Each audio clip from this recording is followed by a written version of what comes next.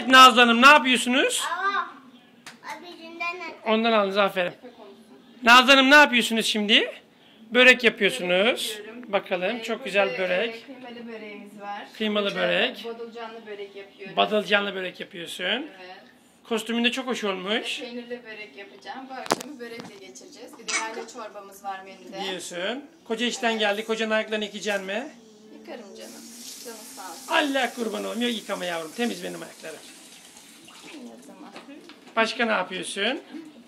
İyi sen oğlumla bugün He. lollipoplu kurabiye yaptık. Oo, bakalım dur. Süslemesini de yapacağız.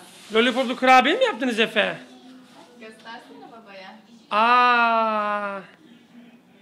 Bakayım Efe nasıl yaptın? Bakayım. Bak göster babaya.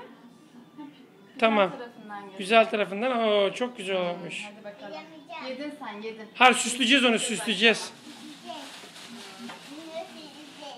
Yani bu kostüm de çok hoş olmuş yani böyle eteğin üstüne böyle bir kıyafet.